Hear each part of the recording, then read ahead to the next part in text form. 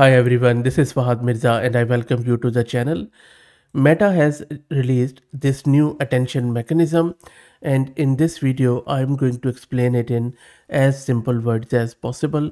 I'm not assuming that you are a machine learning guru or you have built models from scratch. So let's get started. The attention mechanism is a key concept used in large language models like transformer based models Attention allows the models to choose relevant information from a large amount of data when making predictions by selectively paying attention to certain parts of inputs and ignoring others.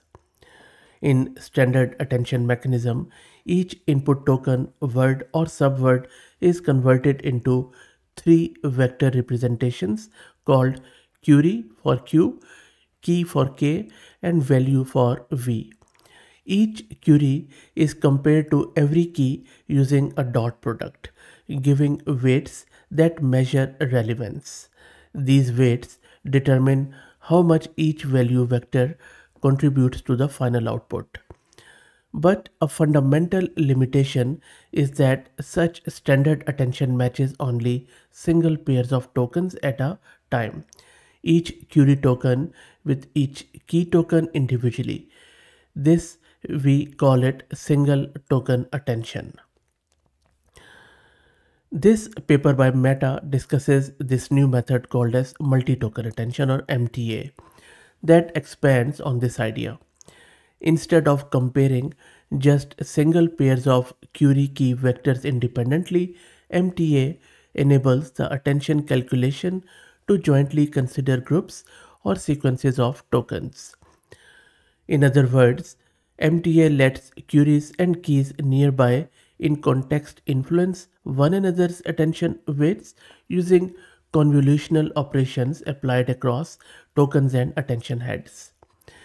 This makes it possible for the model not just to find individual tokens like Alice and Rabbit separately, but also to easily identify situations that require multiple relevant tokens to appear close together so locating exact positions more precisely. The architecture of MTA slightly modifies the conventional attention mechanism by introducing convolutional operations over three dimensions, queries, keys, and attention heads.